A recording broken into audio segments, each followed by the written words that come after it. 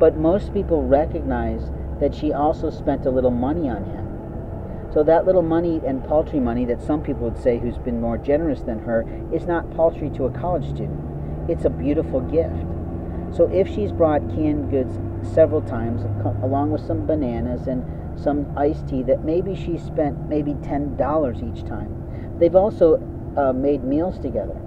Sometimes she's paid for those dollar store items and other times he paid for them. So we'll just set those aside as offset and equal in that value time. But what she's probably provided him is maybe $30 in food. Let's just give her that on the outside.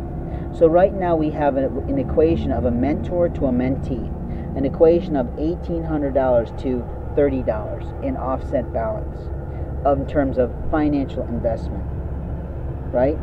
Because the quality of what he teaches her has a time value. The time value is one thing. The actual applicable value of what it's going to be to her in her lifetime of being able to use that tool is going to have a higher value because of what she's doing.